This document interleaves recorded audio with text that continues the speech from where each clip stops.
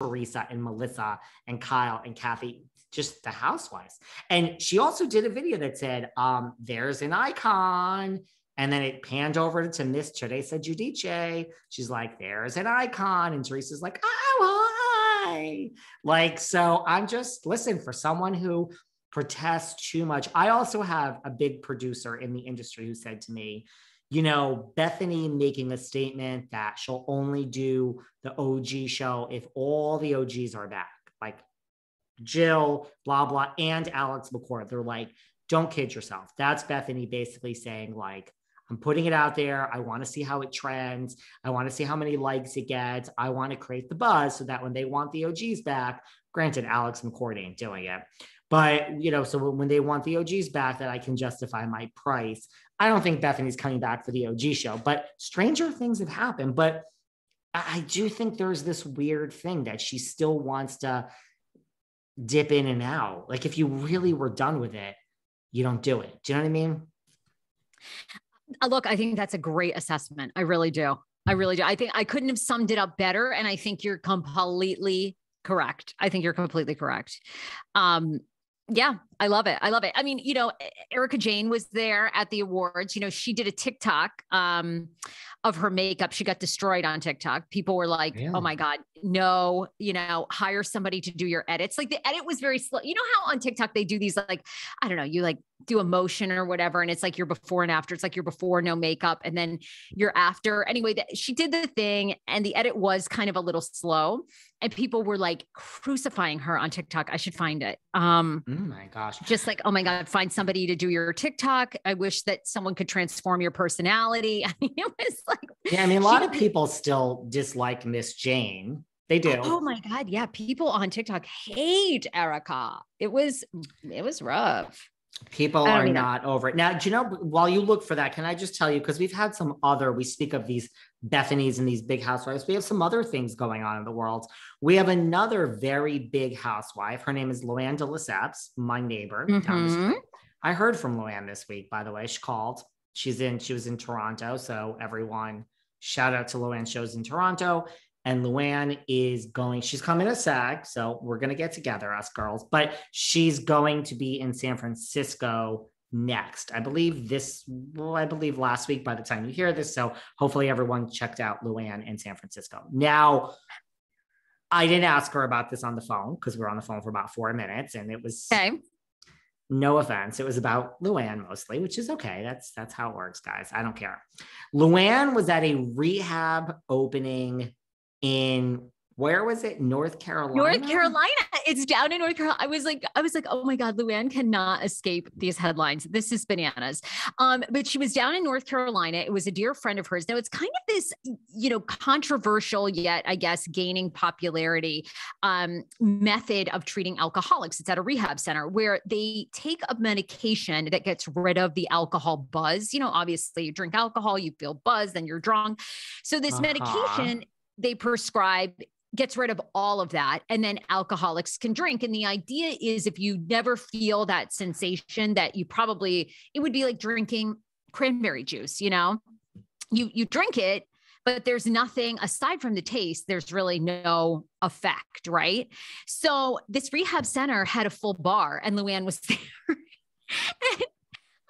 Now now, her publicist in the New York Post story at the end says that Luann has again been two months sober, is not drinking, and was not spotted drinking at this rehab center that had an open bar, which seems crazy. But obviously, their whole thing is, um, you know, it, it's called the Sinclair method, which allows alcoholics to drink after they take medication that takes away the booze high.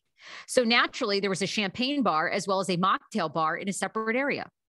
Luann, uh, who struggles with alcohol, uh, have which has been well documented on the Real Housewives of New York, has recently launched her own booze-free Tipli Fose Rose, which is being which was being poured at the bash.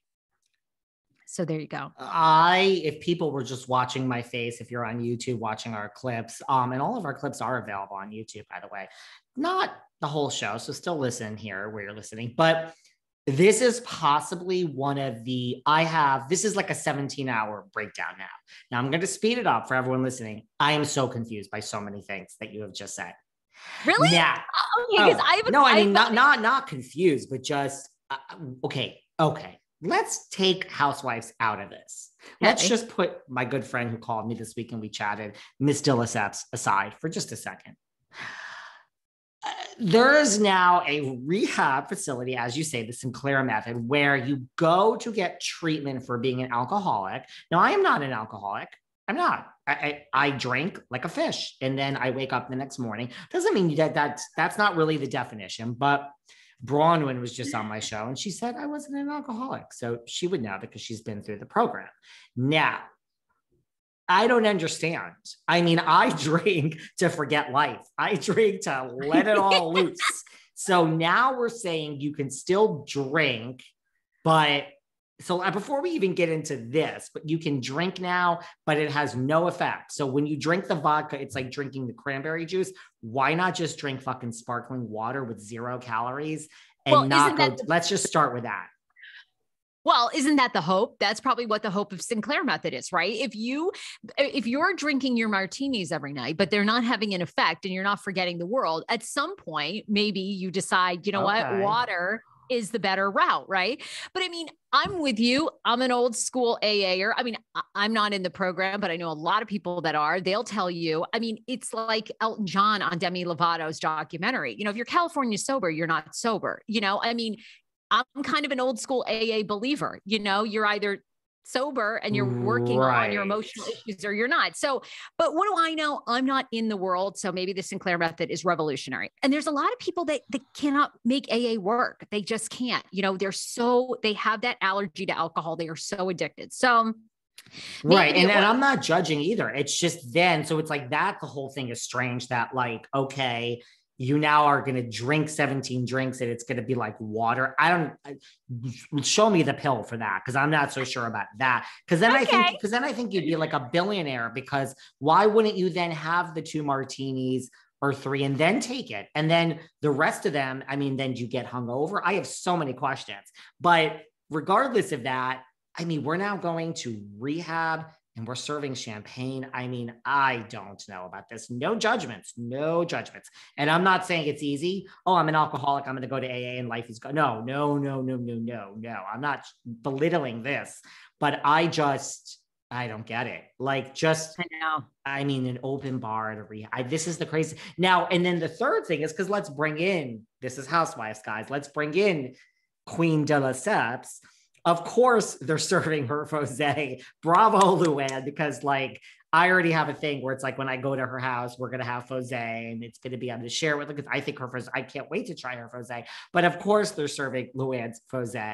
But other than that, how the hell did Luann get involved in this? I'm assuming, and this is no shade, I'm assuming it's like, okay, we're going to promote your Fose and where do we deposit the five grand into your? Completely. She, I mean, I don't think Luann just said, I'm going to skip the weekend in Sag Harbor with David and just go to this facility and lend